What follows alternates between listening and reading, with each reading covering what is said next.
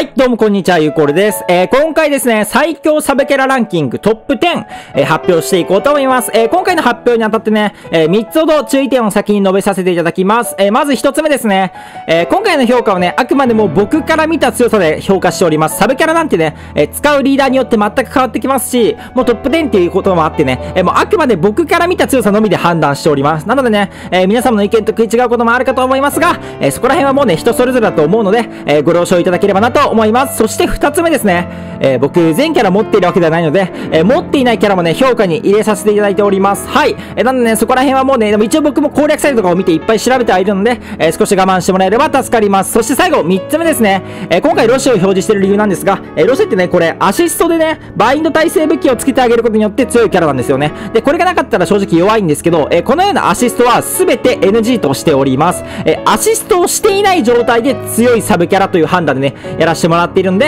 えー、あくまでアシスト等は全てなしというね、考えで見てもらえれば助かります。ということで、トップ10から発表していきましょうはい、ということで、まずは第10位ですね。え第10位はこちら、バルキリーシェルです。はい。まあ、バルキリーシェルはもう、文句なしの10位でしょ。本当に強い。えー、まずね、覚醒スキル見てほしいんだけど、ドラゴンキラー、神キラー、そして7個目強化2つ。で、超覚醒でドラゴンキラー、神キラー、悪魔キラー、マシンキラー、どれかつけれて、えー、さらに潜在でね、ドラゴンキラー、つけれると。これによってドラゴンタイプに対して30倍の火力、7コンボした場合ね、120倍の火力が出ます。これだけでもドラゴンキラー絶対倒すマンになるんですよね、バルキリーシエルが。ただスキルなんですけど、バインド状態を全回復、回復、お邪魔、毒ドロップを光ドロップに変換と、えー、少しね、このスキル単体では弱いところがあるんですよね。で、残念なことに今回アシストの評価はないので、えー、めちゃくちゃ火力は高いんだけど、サポート力の低さから、えー、第10位という風になりました。はい、ということで、第9位はエイルですね。僕ちょっと育成が完璧に終わっていなかったんで、えー、リスナー様からね、画像をもらってきました。えー、このようにですね、覚醒スキルまず見てもらえればわかるんですが、回復強化3つ、HP50% 強化2つ、そして、小学生に創作耐性、もしくはね、HP50% 以下強化をつけれます。で、まあ、ここまでもね、十分強いんですけど、えー、まずこの潜在覚醒見てほしいんですよね。最近強化された回復強化プラスですね。えー、これを3つつけると、このステータスの回復欄とこ見てください。2300なんですよ、これ。元のステータスで回復力が2300もあるキャラというのはね、間違いなく強いです。えー、そしてね、しかもスキル見てもらえればわかるんですが、バインド状態と覚醒無効状態を5ターン回復、最上段横1列を回復ドロップに変化が10ターンと、これによって、圧倒的に闇属性のパーティーの支援をできる。あわよくばもう闇属性のパーティー以外でも強いというのがね、えー、このエイルというキャラクターになっております。とにかくね、回復力に優れているキャラで、そして火力要員としての採用はね、そこまでないんですけど、それでもこの回復力の強さという点からね、えー、今回は第9位にエイルがランクインしました。はい、ということで、第8位ですね。第8位は、こちら、カムイリクですね。えー、そもそももうこのキャラクターを武器にしてしまってる人が多すぎて、多分この評価を今更してもね、あまりね、あの、共感を得られるとは思えないんですが、えー、このキャラクターめちゃくちゃ強いです。まず覚醒スキルご覧ください。スキルブースト3つですね。で、さらにガードブレイクプラス7コンボ強化と火力も出せて、さらにガードブレイクでね、パーティーの支援もできる。そしてバインド耐性を超覚醒でつけれるんで、バインド対策も完璧であると。キラに関してはね、えー、そこまでいいキラをつけれないんですが、えその代わりですね、まずこのの攻撃力ご覧ください。限界突破レベル110にすることによってですね、攻撃力4136と、えー、かなりの効果力を出すことができます。そしてスキル、殺しちゃうとですね、これちょっとバンされるんで嫌なんですけど、あんまり読みたくない スキルなんですけど、でもこれが本当に強いんですよね。2ターンの間回復力が半減、2ターンの間ダメージ吸収を無効化する。これを直入れしておくことによって17ターンで、しかもね、スキルブーストも3つ持ってるんで、かなり速いペースで吸収無効を打つことができると。えー、これによってね、吸収無効がね、あの、すぐに出てくるダンジョン等ではね、圧倒的な強さを誇ることができるのが、えー、カムイ陸衣装となっております。まあ、これに関してはね、やはり僕が実際に使っていて強かったという点も踏まえてね、第8位とさせていただきました。はい、ということで、第7位ですね。第7位は、サーバントセイバーがランクインしました。はい。覚醒スキルご覧ください。えー、まず7コンボ強化、そして無効貫通2つ、そしてスキルチャージと。まず非常にね、この攻撃力も高く、えー、かつね、スキルチャージでパーティーをサポートできるキャラなんですが、で、このね、超覚醒ご覧ください。無効貫通7コンボ強化神キラーなんですよね。で、まあ、7コンボ強化はもちろんね、多色パーティーのサブとして強くなりますし、神キラーもね、神タイプ絶対倒すまになるんで強いです。でも今回ね、無効貫通を想定しています。はい。水属性で無効貫通を3つ持っているキャラクターは、パズルドラゴンズでいません。ということは、サーバンセイバーだけが無効貫通を3つ持っていると。で、バランスタイプなんで、キラー好きなのつけれるんですよね。これがとにかく強くて、例えばね、ドラゴンタイプに対して無効貫通をしたいなっていう場合、2.5×2.5×2.5 で、まあ、15.625倍なんですよね。で、さらに、ね、洗剤でドラゴンキラー3つつけてあげれば、50倍出るんですよ、無効貫通だけで。キラーさえ変えれば、好きなキャラに50倍で無効貫通できるんですよね。もうこれがとにかく強い。で、もし多色で使う場合は、このスキルを7ターンで毎回打てるんですよね。HP 全回復、敵全体に10万の固定ダメージ、回復お邪魔毒ドロップを水ドロップに変化と。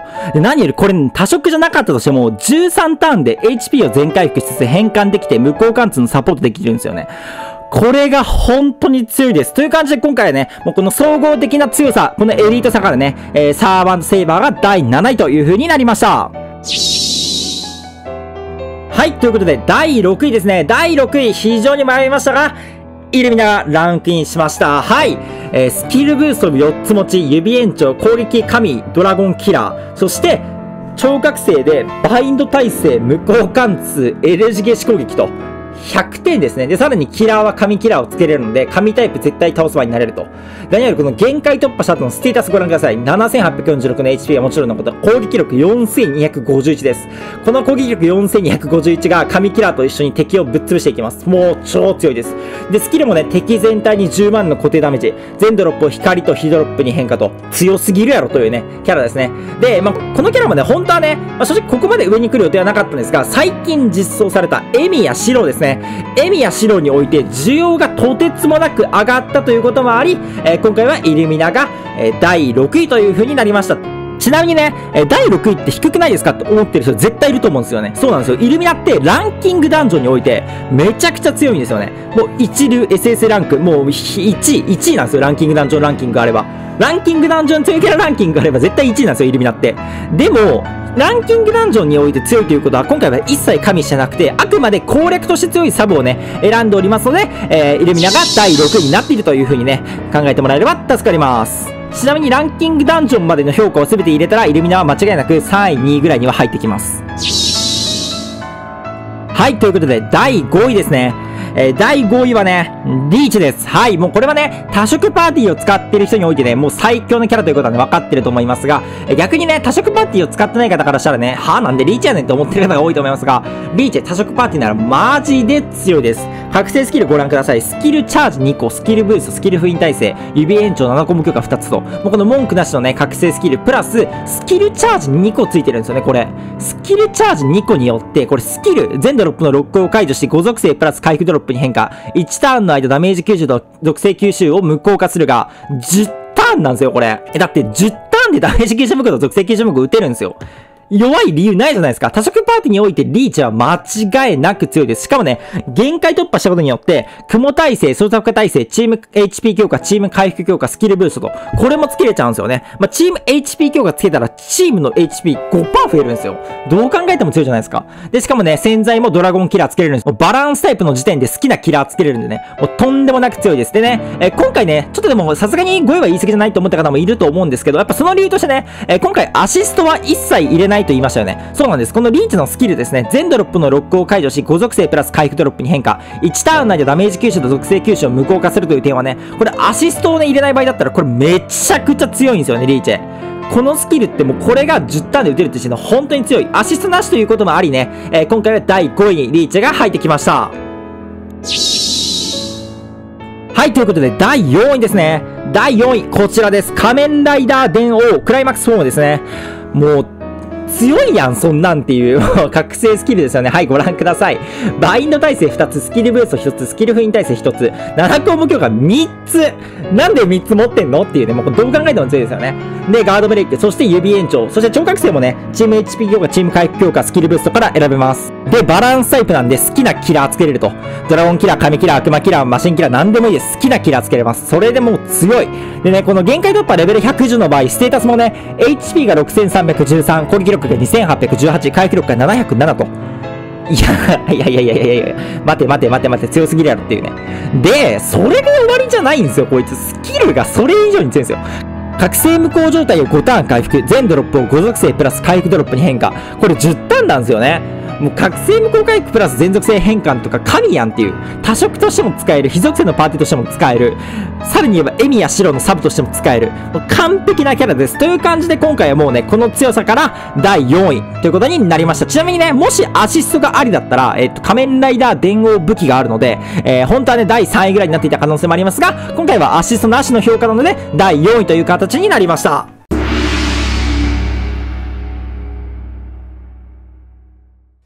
はい、ということで、第3位ですね。僕が一番欲しいキャラであり、一番嫌いなキャラですね。6万円ぐらい多分消えてますね、このガチャに。はい、ということで解説していきましょう。第3位はイデアルです。えー、超バインド耐性、そしてチーム HP 強化2つ。で、スキル封印耐性、スキルブースト、7コンボ強化3つというね、もうこのサポートも火力も完璧なキャラですね。で、さらにこれ超覚醒で操作負荷耐性、HP80% 以上強化、チーム HP 強化と、どれをつけても正直損はしないようなね、どれかを選べます。まあ、個人的にはやっぱり80%以上強化ですかね。HP80% 以上で攻撃力が1.5倍になるっていうね、何それっていうキャラなんですけど、まあ、その覚醒がね、つけれるんで、個人的にはそれがおすすめです。はい。で、ステータスですね。ステータスも限界突破レベル110の場合、HP が5827、えー、攻撃力が2625、回復力が200、2125? 回復力 2125? 高っいうね、この回復力の支援もできる、チーム HP 強化も持ってる、攻撃力も高いというね、もう、強いに決まっとるやんっていうキャラですね。で、しかもスキルまで完璧なんですよ、これ。敵の行動を2ターン遅らせる。全ドロップを5属性プラス回復ドロップに変化。スキルまでも強い。何欠点はどこだ？強いて言うなら追い打ちとか無効貫通とかないぐらいだろ、本当に。マジで強いですね。ただ今回は第3位です。昔なら100億パーセント第1位でした。えー、理由はね、リーダーランキングの1位に見てもらった方なのでわかると思います。1位、2位にイデアルが入りますか？入らないんですよね。その点から今回残念ながらね、第3位という形になってしまいました。ただ、イデアルもめちゃくちゃ強いです。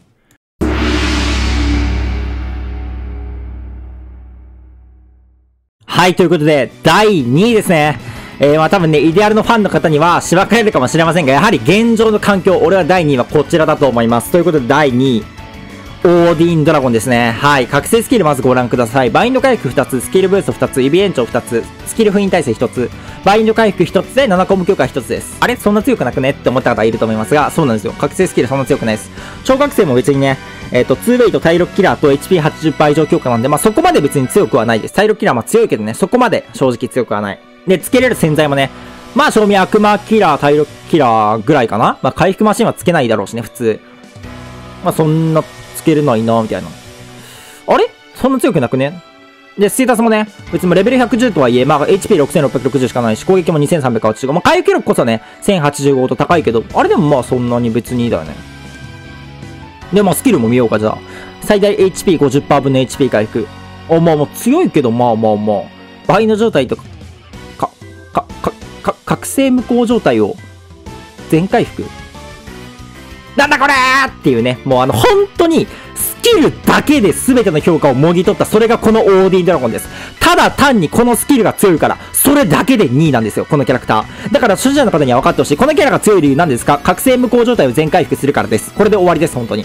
しかもこのスキルね、自分以外の味方スキルが1ターン溜まるんですよ。わけわかんなくないですかこんなん普通1ターン溜まらないんですよ。なのに1ターン溜まるんですよ。で、これ何ターンだと思います？まあ20ターン、25ターン、30ターン。いや、本当にあり得るんですよ。そんぐらい強いのに、これなんと9ターンなんです。9ターンでこれができるんです。いや、これが13ターンとかね、イデアルぐらいのターン数だったら正直弱いです。ただ、これが9ターンで打てる。ただそれだけでこのオーディンドラゴンは一流を貫いています。そんぐらい強い。それがこのオーディンドラゴンのドラウプニルというスキルです。本当に強いです。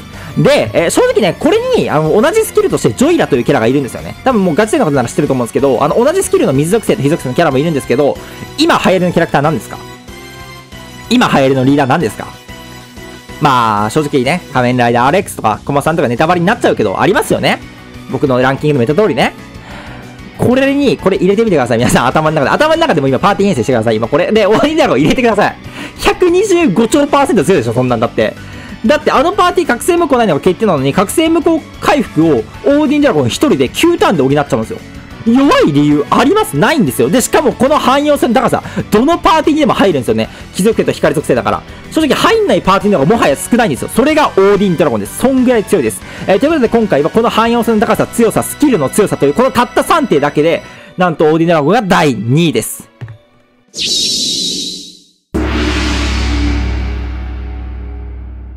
はい、ということで、第1位の発表ですね。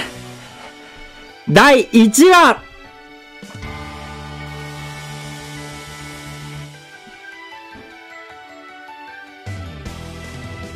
ゼラですおめでとうございます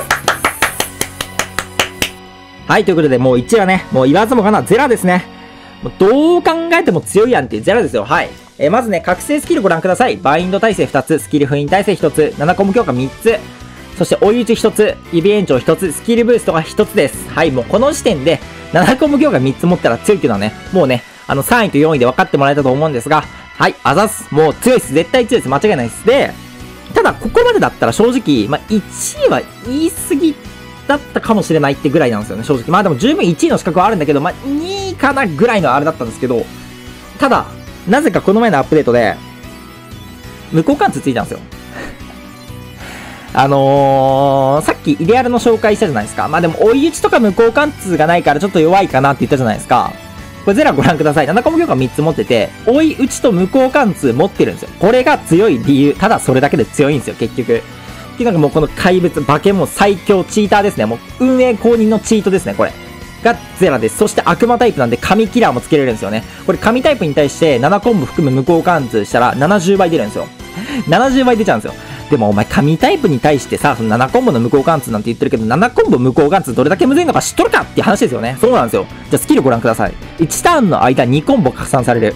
全ドロップのロックを解除して、木と回復ドロップに変化。これもうね、どういうことかっていうと、簡単に追い打ちを含む7コンボ無効貫通ができちゃうんですよ。このスキルのおかげで。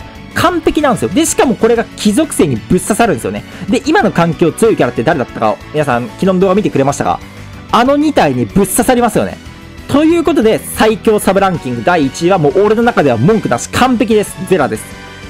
本当に強いです。で、ステータスもね、もちろん悪くないんでね。えー、という感じでね、1位はゼラという風になっております。はい、ということでね、今回は僕が思う最強サブランキングトップ10発表させてもらいました。まあね、皆さん各自意見あると思うんですけどね、えー、まあ一応ね、あの、ある程度のキャラはね、この後、こいつらなんでトップ10じゃないのっていう感じでね、紹介していこうと思います。でね、それでさえも紹介できなかったキャラっていうのはね、僕が単純に認知してない可能性もあるし、使ってるパーティーがね、違うっていうだけでね、全然強いキャラって変わってくるんで、あ、そういう理由があるんだっていうのを持っておいてほしいです。という感じで、えー、今からね、えおまけとしてトップ10に入れなかったキャラたちの解説していきましょうはい、ということで、トップ10に入らなかったキャラたちですね、紹介していこうと思います。まずは、天宮蓮ですね。えー、これも正直11位です。もう正直11位です。ギリギリ入りませんでした。7コンボ強化2つ持ってて、追い打ちも持っててね。で、バランスタイプなんで好きなキラーもつけれて、スキルもね、敵の行動を1ターン遅らせてから、バインド状態と覚醒無効状態を全回復っていうね、もうめちゃくちゃ強いんだけどね、やはりね、エイルの回復力増加が強すぎる。パーティーの回復力ぶち上げてくれるんですよね。特に闇メタパーティーを使ってる人ならもうあの強さはね、もうやばいと思います。ということで今回はエイルにギリギリ負けて、えー、11位という感じで天宮蓮はランク外でした。はい、ということで、ギリギリランク外になったキャラたち解説していきましょう。まずは、エンラですね。エンラは電王でよくねっていう現象になったんで、残念ながらランク外となりました。で、メルですね。えー、これは倍の耐性武器がないと弱いんで、残念ながらランク外となりました。はい、そしてコットンですね。えー、コットンも強いんだけど、えっ、ー、と、スキルね、今回アシスト禁止なんで、まあ、このスキルを直接使う必要があるかって言われたらそこまで使わないんでね、え、残念ながらランク外となってしまいました。え、スキルアシストがあればね、コットンは非常に強いキャラなんでね、え、ちゃんとね、持っておくことをお勧めします。で、キネイですね。キネイもまあ悪くはないんだけど、なんかすげえ中途半端な性能だし、さらにね、ゼラがもうね、無効貫通持っちゃったんで完全にいらなくなっちゃったっていう形になってます。で、エドワード・エルリックですね。え、これも正直サブとしては強いんだけど、庶民リーダーで使うよねっていう話で残念ながらランク外となってしまいました。サブとしてもね、一応使えるのは使えるけど、正直そういう状況でこの無効貫通とかがね、役立つかって言われたら微妙かなと思います。だから13位ぐらいかな。そんぐらいな感じだと思っておいてください。で、シェリアスルーツですね。えこれスキルが弱いから残念ながらランク外となりました。アシスト禁止なんでね、今回は。で、シアトですね。これはバインド耐性武器がつけれないんで残念ながらランク外となりました。で、プラリネですね、火力出るんだけど、やっぱり攻撃力低いんですよね。で、倍の耐性武器も禁止なんで残念ながらランク外となりました。えー、そして、ネイですね、光ネイに関してはなんかすげえ微妙なんですよね。なんか、なんか微妙っていう感じで残念ながらランク外となりました。はい。弱くはないです、単じて。で、プレイナーですね、もうこれめっちゃ強いんですよ。めっちゃ強いんだけど、結局優先度はエイルを下回ると思います、俺は。先エイル入れてからプレイなんでしょってなっちゃうと思うんでね。残念ながら少し乱階になってしまったという形になります。あとね、正直雨宮蓮でいい現象ですね。雨宮蓮で良くねってなっちゃうんでね。ただ3コンボ加算のこの替えの効かないスキルはめちゃくちゃ強いです。持っておいて損は100億パーセントありません。紙結びですね。これもめっちゃ強いんだけどね、残念ながらスキル継承なしなんでね、アシストなしということで、えー、残念ながらランク外となりました。で、バレンタインデーですね。これも強いんだけど、とまあ、賞味、賞味、エールでよくねっていうね、感じになっちゃったんで、残念ながらランク外となってしまいました。弱くはないです、単地で。ただ中途半端なんですよね、本当に。で、最後、ノアですね。これまあ、超覚醒で無効貫通もしくは7個も強化つくんですけど、えっ、と、スキルがね、弱いという理由で残念ながら難解となってしまいました。え、という感じでね、まあ、今回はね、特にアシスト禁止をね、想定していたんで、えー、意外とね、こういうキャラ強いのになっていうキャラがランク外になっていたかなと思います。えー、という感じでね、今回の動画は終わりにしたいと思います。えー、少しでも参考になったらね、チャンネル登録と高評価の方よろしくお願いいたします。長々とご視聴ありがとうございました。バイバイ